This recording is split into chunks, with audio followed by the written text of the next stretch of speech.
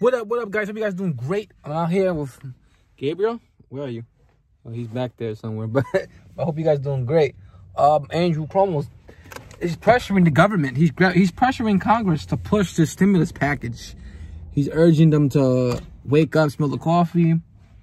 Um, then I'm hearing you gotta they might take you have to take the vaccine in order to get a stimulus check. I'm hearing two two sides of the of the story. I don't know what's true, but Cuomo's urging the Congress to pass the stimulus package. They should pass one because you know shit is going. A lot of people are not working right now, so it'll help. It'll help out the people for unemployment. Another extra six hundred dollars. You know, hey, they want to close businesses and bars down. You know, why not help the people then? At ten o'clock, you know, ten o'clock they have the curfews and shit. So why not help the stimulus deal will help them out big time. So let me know what you guys think.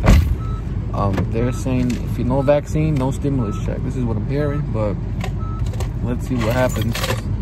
This is always one story, it's another story, so we don't know. But I mean, first of all, who's Andrew Cuomo anyways to tell Congress that? Andrew Cuomo's always making rules and shit. But let's see what happens.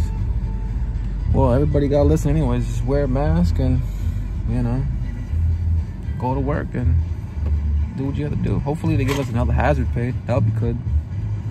If they're, you know, they're urging people to push the, you know, if they're urging this Congress to push the stimulus package, why not?